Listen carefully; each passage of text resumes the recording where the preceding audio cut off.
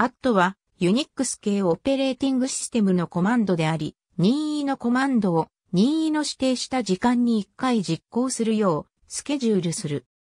より正確に言えば、一連のコマンド行を標準入力から読み込み、後日実行される at job として、それらをまとめる。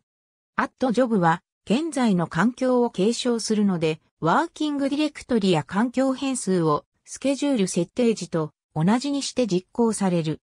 クロンはこれとは異なり、繰り返し実行する場合に使われる。クロンと同様、多くのユニックスシステムで、アットコマンドのスーパーユーザー以外の使用を制限している。アットは、スケジュールされた一連のジョブを実行したときに、ユーザーに電子メールを送信することができ、ジョブ Q を複数使ったり、標準入力以外のファイルからジョブのリストを読み込んだりできる。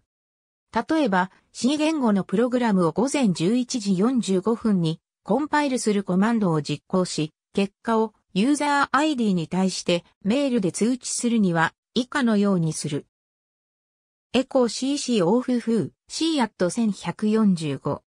アットがスケジュールしたジョブの実行のため、 atd というデーモンが定期的にジョブリストをチェックし、実行すべき時刻が来たジョブを起動する。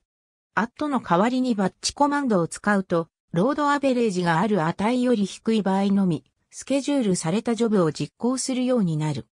Windows NT 2000 XP には、クロンに類似したアットコマンドがあるが、タスクスケジューラの方が有名である。ありがとうございます。